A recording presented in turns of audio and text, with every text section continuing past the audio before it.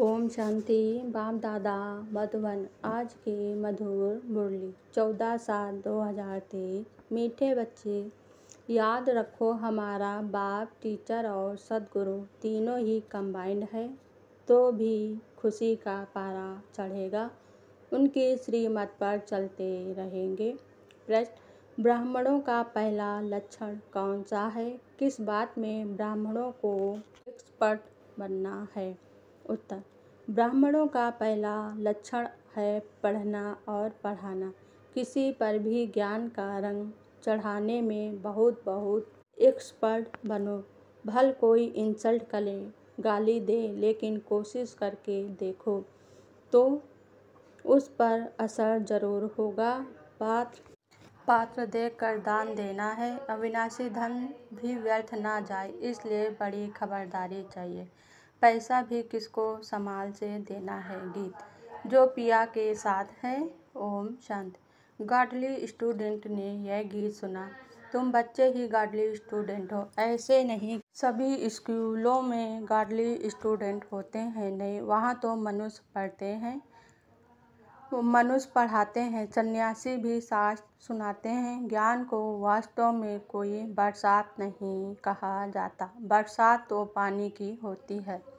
आज की मुरली से मुख्य दस पॉइंट। पहली पॉइंट, यह महिमा गाई हुई है क्योंकि परमपिता परमात्मा को ज्ञान का सागर भी कहा गया है। बाप कहते हैं, मुझे ज्ञान सागर, नॉलेज फुल भी कहते हैं। दूसरी पॉइंट, जैसे मानसरोवर का तालाब है, अमृतसर में भी एक तालाब है जिसको वो लोग अमृत समझते हैं। तीसरी पॉइंट, वास्तव में तो इस नाले से तुम्हारे सब दुख दूर होते हैं इक्कीस जन्मों के लिए, जो पिया के साथ है, उसके लिए बरसात है। चौथी पॉइंट, यह बाप, टीचर, सदगुरु तीनों ही कंबाइंड है, यह एक बात भी बच्चे याद रखें तो खुशी का पारा चढ़ जाए। पाँचवीं पॉइंट, अगर सभी को एक ही घर में साथ रखें तो कितना बड़ा मकान चाहिए? सारा आबू मकान बना दें तो भी पूरा नहीं होगा। छठवीं पॉइंट, कितने सेंटर्स हैं? अभी तो अर्जुन थोड़े हैं, इससे भी हज़ार गुणा जाती होंगे। एक हज़ार, दो हज़ार, पाँच, सात हज़ार भी सेंटर हो सकते हैं। घर घर में यह ज्ञान गंगाएँ ज्ञान की वर्षा करेंगी। सातवीं पॉइंट वास्तव में ब्रह्मा कुमारी पाठशाला नाम रखते हैं। कोई ब्रह्मा कुमारी युश्री विश्वविद्यालय नाम रखते हैं ना? कई बच्चे डरते हैं कि बी के नाम देख हंगामा ना कर दें। आठवीं पॉइंट कोई विघ्न ना पड़े इसलिए बीके के नाम बदल कर दूसरा रूप दे देते हैं। वास्तव में तो बात एक ही है।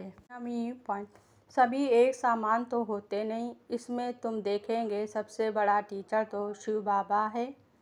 दसवीं पॉइंट यहाँ फिर आत्मा और परमात्मा का यह मेला है। इसका ही यादगार भक्ति मार्ग में गाया जाता है।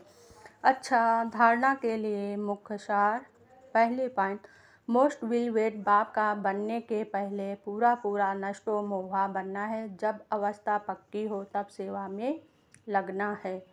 दूसरी पॉइंट, इस दुनिया से दिल का वैराग रख पवित्र बनने में बहादुर बनना है। दान बहुत खबरदारी से पात्र को देखकर करना है। वरदान है आज का। परिस्थितियों को साइड सीन समझकर पार कर आगे बढ़ने वाले मास्टर सर्वशक्तिमान भव। सदा अपने मास्टर सर्वशक्तिमान स्वरूप की स्मृति में रहो तो हर परिस्थिति ऐसे अनुभव होगी। जैसे एक साइड सीन है, परिस्थिति समझने से घबरा जाते, लेकिन साइड सीन अर्थात रास्ते के नज़ारे समझेंगे तो सहज पार कर लेंगे। क्योंकि नज़ारों को देख खुशी होती है, घबराते नहीं। विघ्न विघ्न नहीं है, लेकिन आगे बढ़ने का साधन है। परीक्षा से क्लास आगे बढ़ता है। इसलिए कभी कोई बात में रुको नहीं। सदा मास्टर सर्वशक्तिमान हूँ। इस स्मृत से उड़ती कला का अनुभव करते रहो।